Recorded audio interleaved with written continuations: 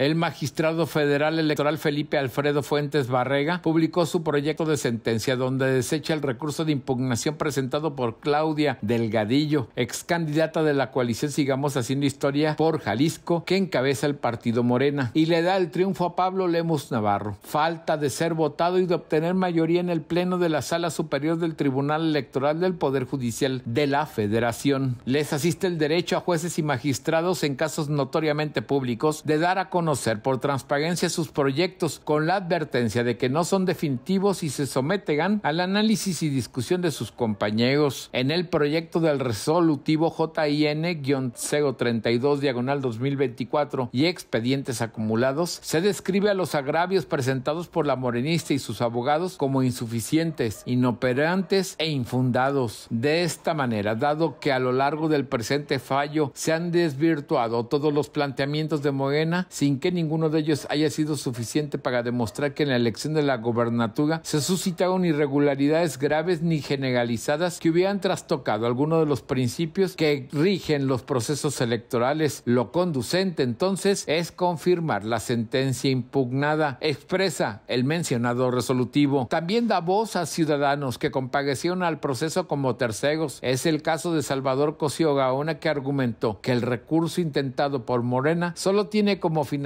obstruir la conclusión del proceso comicial. Se establece que de última hora se esgrimieron nuevos agravios que en su momento no se presentaron ante el tribunal local y por lo tanto se considera falta de interés jurídico. El resto de los magistrados integrantes de la Sala Superior del Tribunal Electoral del Poder Judicial de la Federación tendrán que expresarse al respecto en la próxima sesión ordinaria. La elección a gobernador de Jalisco del pasado 2 de junio arrojó un resultado de 1.626.000 votos para Pablo Lemos de Movimiento Ciudadano contra 1.445.000 votos para la candidata de Morena, Partido Verde, PT, Hagamos Futuro, Claudia Delgadillo González. Es decir, hay una diferencia de 186.000 votos y por arriba del 5% que marca la ley para repetir una elección. La sentencia de 139 páginas proyecta la confirmación del cómputo estatal, la elegibilidad y la declaración de validez de la a la gubernatura de Jalisco, así como la entrega de la constancia de mayoría a Jesús Pablo Lemus Navarro. De confirmarse el resultado, Pablo Lemus podría asumir el cargo de gobernador de Jalisco el próximo 6 de diciembre. UDGTV Canal 44, Víctor Manuel Chávez Ogazón.